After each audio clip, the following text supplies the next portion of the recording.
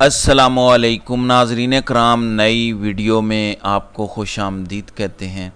इस टाइम जो भी डेवलपमेंट्स हो रही हैं, जो भी हैपनिंग्स हो रही हैं, वो तमाम तर सुप्रीम कोर्ट में हो रही हैं। एक के बाद एक बड़ी खबर, एक के बाद एक ब्रेकिंग न्यूज़ सुप्रीम कोर्ट से आ रही है। सुप्रीम कोर्ट में पिछले चंद घंटों में वो कुछ हुआ जो ना तो कभी पाकिस्तान की अदालती तारीख में हुआ और ना ही कभी किसी ने तस्वुर किया था कि ये कुछ भी सुप्रीम कोर्ट में हो सकता है। अब तक की सबसे बड़ी ब्रेकिंग न्यूज़ सुप्रीम कोर्ट से आ चुकी है। कल रात काजी साहब का सुप्रीम कोर्ट में बतौर चीफ जस्टिस आखिरी दिन था। रात गए सुप्रीम कोर्ट की रजिस्ट्रार साहिबा ने तहलका खेज ऑर्डर जारी करके तमाम तर चीज़ों को वाज कर दिया। सुप्रीम कोर्ट के दो सीनियर जजेस जस्टिस मुनीब अख्तर और जस्टिस मंसूर अली शाह ने पहला बड़ा धमाका कर दिया है। खबर की मुकम्मल तफसीलात मैं बता देता हूँ। सुप्रीम कोर्ट से अब तक की ये सबसे बड़ी खबर है, जब से सुप्रीम कोर्ट ने 12 जुलाई का मखसूस नशिस्तों वाले केस का फैसला सुनाया, उसके बाद से लेकर अब तक बहुत कुछ सुप्रीम कोर्ट में हो रहा था, बहुत सी खबरें सुप्रीम कोर्ट से आ रही थी, लेकिन कल रात को ये अब तक की सबसे बड़ी ब्रेकिंग न्यूज़ सुप्रीम कोर्ट से आई है कि काजी साहब को खुदा हाफिज कह दिया गया है। काजी साहब से सुप्रीम कोर्ट के इंतज़ामी अमूर भी वापस ले लिए हैं। तफसीलात मैं आपको बता देता हूँ। नाजन कराम आज से ठीक दो दिन पहले एक वीलॉग के ज़रिए मैंने आपको बताया था कि सुप्रीम कोर्ट में प्रैक्टिस एंड प्रोसीजर कमेटी का यकम अगस्त को जो इजलास हुआ था दो दिन पहले, उस इजलास के मीटिंग मिनट्स जारी किए गए। वो इजलास था अरशद शरीफ शहीद केस की समात में कौन कौन से जजेस बेंच का हिस्सा होंगे। उस मुतलिक यकम अगस्त को सुप्रीम कोर्ट के तीन सीनियर मोस्ट जजेस का अठारहवा इजलास हुआ था।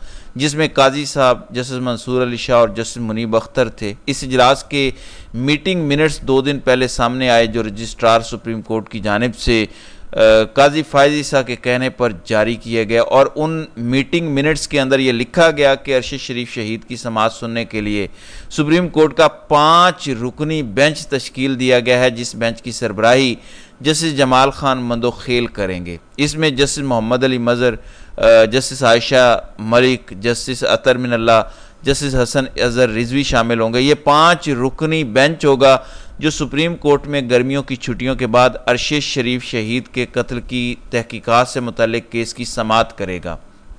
नादन कराम हम सभी तनकीद कर रहे थे मैं खुद भी त, मैंने खुद भी तनकीद की थे कि क्यों इस बेंच में जस्टिस मंसूर अली शाह जस्टिस मुनीब अख्तर या खुद चीफ जस्टिस काजी फायजी शाह नहीं बैठे। चलें, काजी साहब तो अब आइनी मुद्दत अपनी पूरी कर चुके हैं। उनकी कहानी तो सुप्रीम कोर्ट में ख़त्म हो गई है, वो तो सुप्रीम कोर्ट का कंट्रोल खो बैठे हैं। तो कम अज़ कम दो सीनियर जजेस, जिसमें जस्टिस मंसूर अली शाह और जस्टिस मुनीब अख्तर हैं, उनको तो इस बेंच का हिस्सा होना चाहिए था, क्योंकि इस बेंच ने बड़े बड़े ताकतवर लोगों को कानून के कटहरे में खड़ा करना था। सो उस टाइम पर तमाम लोग ये तनकीद कर रहे थे कि शायद इस वजह से सुप्रीम कोर्ट के सीनियर जजेस इस बेंच का हिस्सा नहीं है।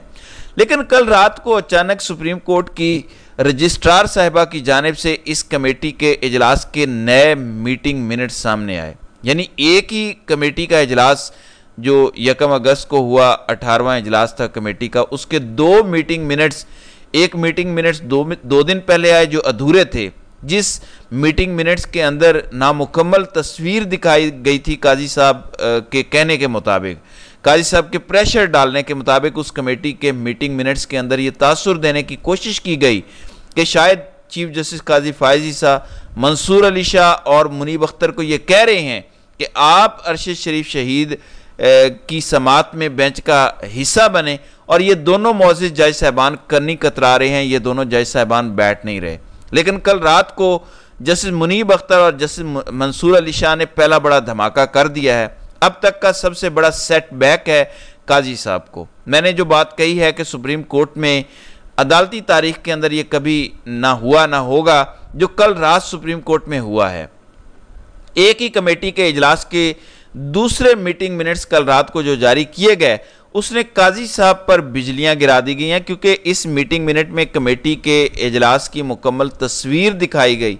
वो मुकम्मल तस्वीर है क्या? पहले मैं आपको वो जुमला बता देता हूँ जहाँ से आ, कल रात को मीटिंग मिनट शुरू होते हैं। उसके बाद आपको बताऊँगा कि जस्टिस मंसूर अली शाह और जस्टिस मुनीब अख्तर को कैसे काजी साहब फंसा रहे थे कैसे जानबूझकर उन पर तनकीद करने का मौका फ्राहम कर रहे थे। और हम जैसे तमाम लोग ये तनकीद करना शुरू हो गए थे कि मुनीब अख्तर और मंसूर अली शाह को इस बेंच का हिस्सा होना चाहिए था लेकिन कल रात को असल पिक्चर सुप्रीम कोर्ट की जानब से जो रजिस्ट्रार की जानब से मीटिंग मिनट्स आए उसमें क्लियर हुआ वाज किया गया कि justice Mansoor Ali Shah and justice Munib Akhtar honourable members of the committee have desired that in order to accurately the uh, discussion that took place in the meeting that following uh, modification being made in the minutes of that 18 uh, meetings uh, of the committee. यानी अब ये जो तीन जुमले हैं जहाँ से meeting का आगाज़ किया गया ये कहता है कि हमें दूसरे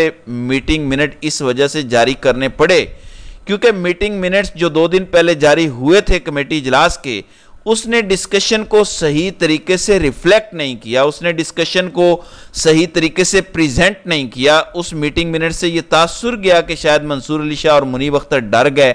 वो अरशद शरीफ शहीद के केस की समात नहीं सुनना चाहते। फिर इस मीटिंग मिनट के अंदर डिटेल्ड चीज़ें लिखी गई कि किस तरह से काजी साहब तीन रुकनी बेंच बनाना चाहते थे।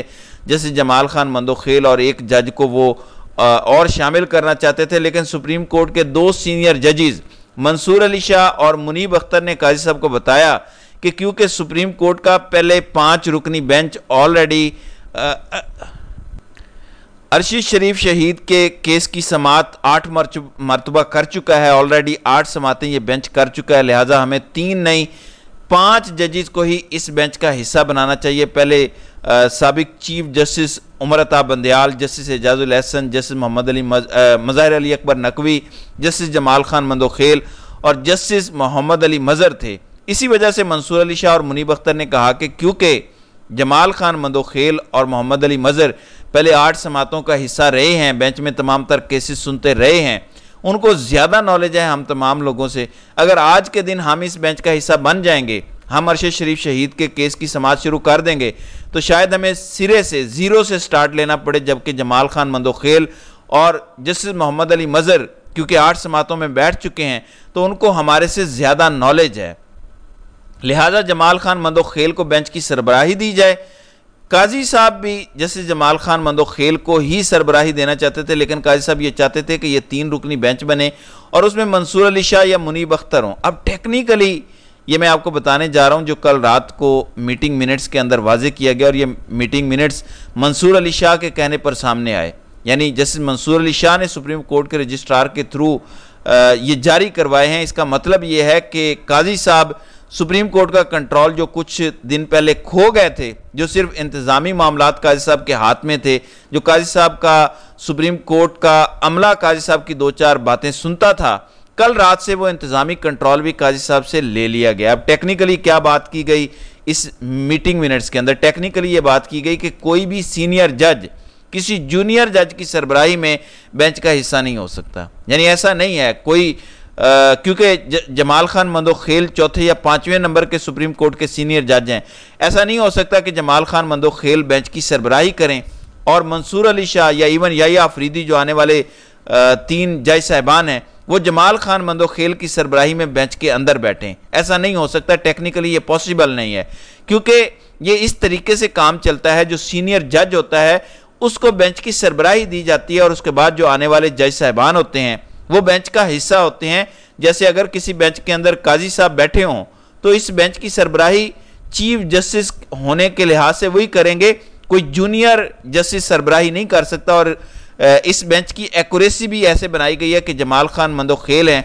उसके बाद आने वाले मोहम्मद अली मज़र, उसके बाद जस्टिस आयशा ए मलिक और उसके बाद सीनियरिटी लिस्ट में जस्टिस अतर मिनल्ला हैं और पाँचवें नंबर पर सीनियरिटी लिस्ट में जस्टिस हसन अजहर रिजवी हैं।